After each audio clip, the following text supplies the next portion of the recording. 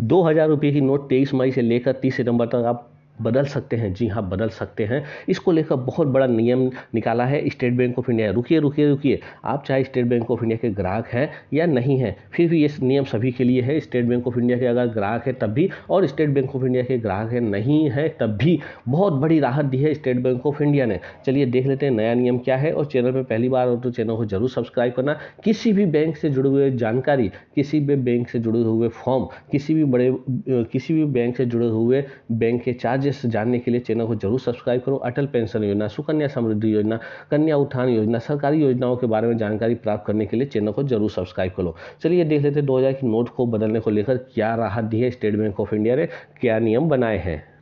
तो दोस्तों, जैसा कि आप जानते हो, स्टेट बैंक ऑफ़ इंडिया ने नया नियम निकाला है। ये आप नहीं जानते, लेकिन मैं जो जानते वो बता दूँ किसी भी बैंक में आप दस हज़ार, दस नोट जमा कर सकते हैं, दो हज़ार रुपये की मतलब कुल नोट बीस हज़ार रुपये जमा कर सकते हैं दस नोट के, ठीक है? बैंक ऑफ़ इंडिया हो, इस बैंक ऑफ़ बड़ौदा हो, कैनरा बैंक हो, पंजाब नेशनल बैंक हो सबने अपना अपना अलग नियम बताए हैं, लेकिन स्टेट बैंक ऑफ़ इंडिया ने देखिए, नोटिफिकेशन निकाल कर कहा है, सभी के लिए, जी हाँ जो ग्राहक है, उनके लिए भी हो, जो ग्राहक नहीं है, उनके लिए भी। Bank, State Bank of India ने क्लियर कट कहा है, जो भी नोट बदलने के लिए स्टेट बैंक ऑफ़ इंडिया में आएगा। उसको किसी भी तरह का फॉर्म भरने की ज़रूरत नहीं है। जी हाँ बिना फॉर्म भरे वो दो हज़ार रुपये की नोट एक्सचेंज कर सकता है, बदल सकता है। रुकिए रुकिए, अभी साथ में इन्होंने यहाँ इतना ही नहीं, दूसरी एक और बात कही है, जो भी नोट बदलने के लिए आएगा, उसको अपना आइडेंटिटी प्रूफ देने की ज़रूरत नहीं है। मतलब अपना आधार कार्ड, अपना election card, PAN card, Aadhaar की जेरोक्स फ़ोटो कॉपी देने की ज़रूरत नहीं है। बहुत सारे सोशल मीडिया पे बात चल रही है कि अपना आधार कार्ड देना होगा, पैन कार्ड देना होगा, जेरोक्स देना होगा, वगैरह वगैरह वगैरह।